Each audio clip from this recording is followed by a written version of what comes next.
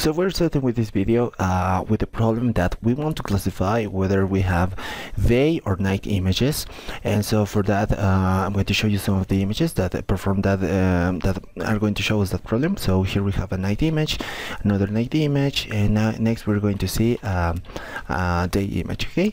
So it's one like that. So I have this small data set that has uh, 10 images 5 for uh, daylight and 5 for, for night okay? So um, we're going going to start the problem by defining itself. I mean it's gonna be uh, we want to classify day or night images based on that. And uh, for that we have a database that has 10 images okay? So we're going to call this uh, d which is going to be equal to 10 images okay?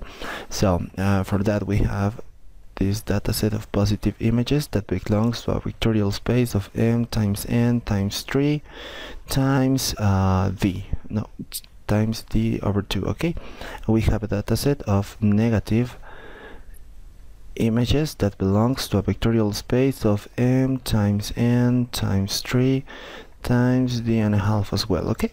So these are our two vectorial spaces that define our database and from there we can uh, start with with the problem okay? So the first thing that we do is to I mean to analyze what type of data we are dealing with and um, that's kind of simple okay? I'll move this down uh, okay. So our, our raw data is I mean is our images okay? So we have this n and we have this defined as m. This is the number of rows. This is the number of columns.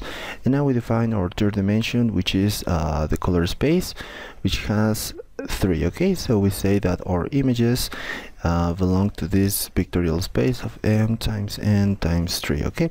So what is the type of data we are dealing with in this case? Uh, it's a pixel and this pixel uh, has 24 bits and these 24 bits are divided into three three um, three clusters of 8 bits.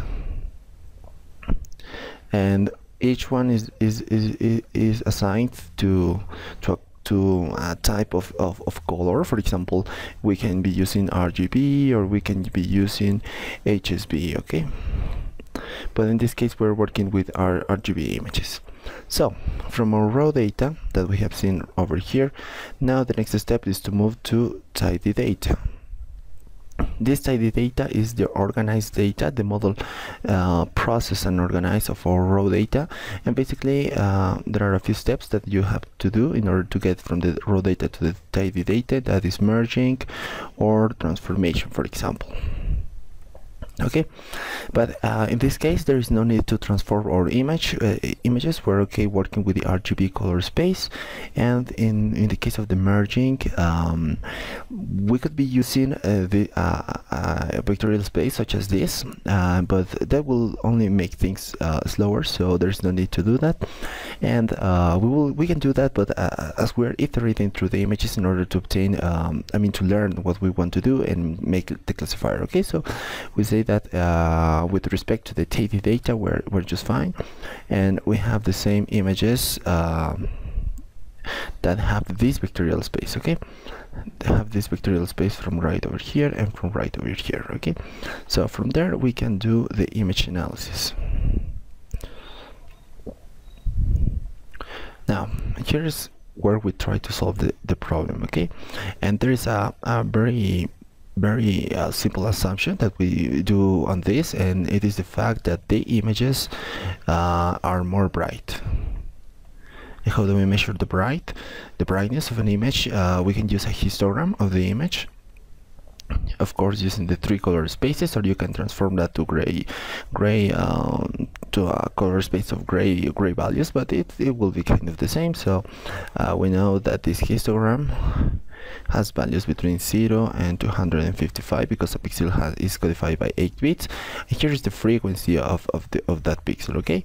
Um, so in, in, in the case of day bright images we're going to have something like this.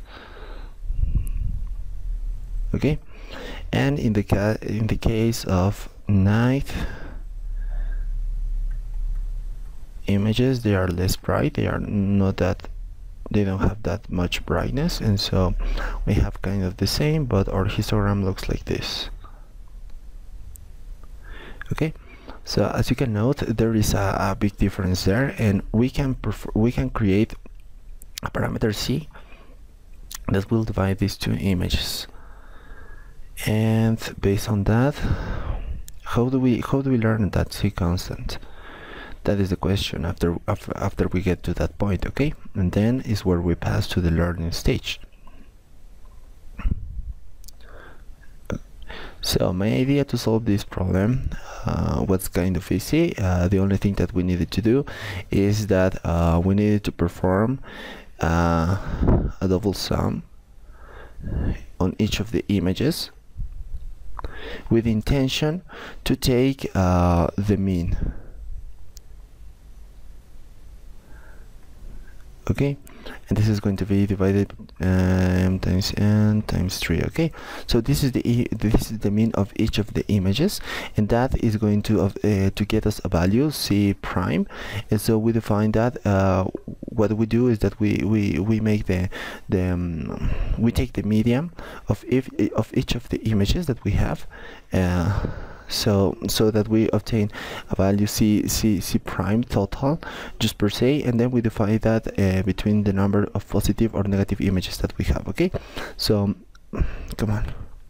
So we're going to obtain um, so we're going to obtain uh, one value which is going to be uh, used for the positive images and we're going to have another value which is going to be used for the negative images and then what we do is that we take uh, the mean of these two values. So we divide this between two. And that's gonna be that's going to be our final constancy and this constant c is going to be our learning um, parameter that's going to divide this okay? So you can think uh, this uh, like a decision tree or perhaps um, yeah more of like a, a, decision tree. So the only thing that we do is that we learn this constant c in order to to to make our algorithm okay? Now we are on the code okay? So the first thing is to import all the libraries that we will need such as numpy os and cv2 okay? So next is going to iterate through all the images. We're going to use the os.list command and we're going to check the images that start with b those are the daylight images.